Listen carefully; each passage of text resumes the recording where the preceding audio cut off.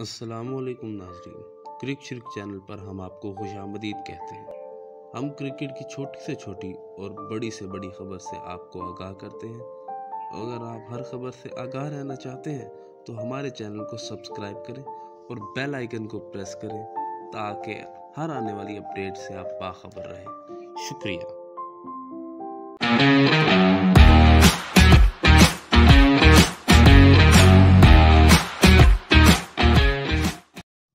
Asia cup 2022 की team का ऐलान कर दिया गया।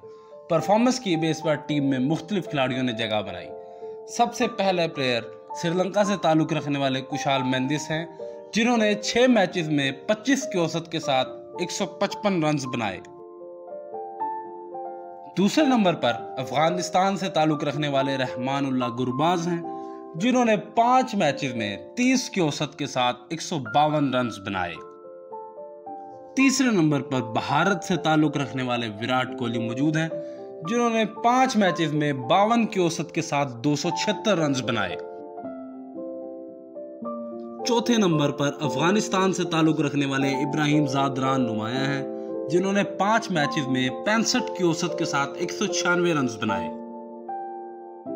पाँचवें नंबर पर श्रीलंका के बैट्समैन राजा पक्षा मौजूद हैं जिन्होंने छह मैचेस में सैतालीस की औसत के साथ एक रन बनाए।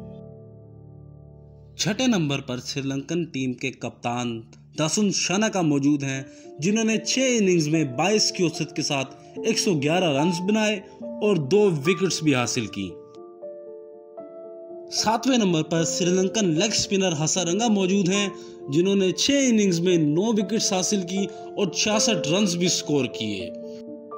आठवें नंबर पर पाकिस्तान टीम के ऑफ़ स्पिनर मोहम्मद नवाज़ मौजूद हैं, जिन्होंने छह इनिंग्स में आठ विकेटें हासिल की और उनासी रन भी बनाए। नवे नंबर पर भारत से ताल्लुक रखने वाले भुवनेश्वर कुमार नुमाया हैं, जिन्होंने पाँच इनिंग्स में 11 विकेट्स हासिल की।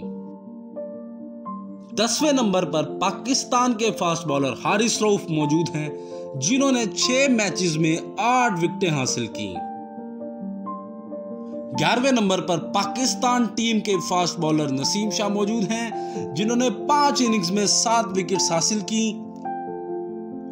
एशिया कप की टीम में चार श्रीलंकन, तीन पाकिस्तानी, दो इंडियन और दो अफगानी खिलाड़ियों ने जगह बनाई, जबकि हांगकांग और अफगानी खिलाड़ी टीम में जगह ना बना सके।